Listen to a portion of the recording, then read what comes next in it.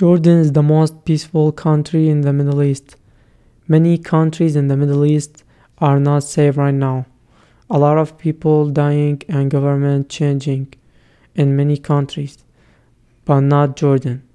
Jordan is located between Iraq, Syria, and Saudi Arabia, and Israel. Jordan is a beautiful country. Many people from all over the world visit there every year. So why did we leave Jordan and come to the USA? I come from to the USA from Amman, Jordan. I have been in Tucson for almost 3 years. I came here for many reasons. First, to get better education. Also to work and think about the future. And I'm Walid, I'm from Jordan. Jordan's a nice country, but I, I came here because we didn't have good education like we would have here.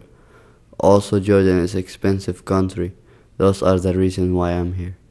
The education in Jordan costs money.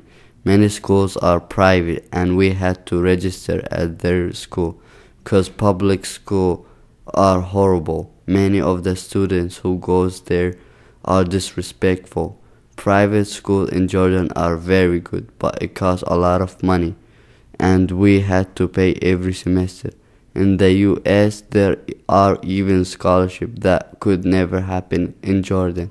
That's why the education in the US is better.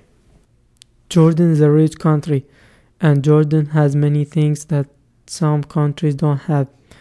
Many people come from other countries to work in Jordan and that makes it difficult to find a job.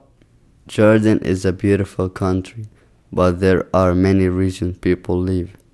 Among the reasons are high cost of living, education, and difficult finding a job. It is very expensive to live there.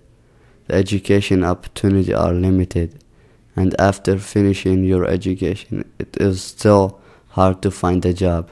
Those are the reasons why we came to the US.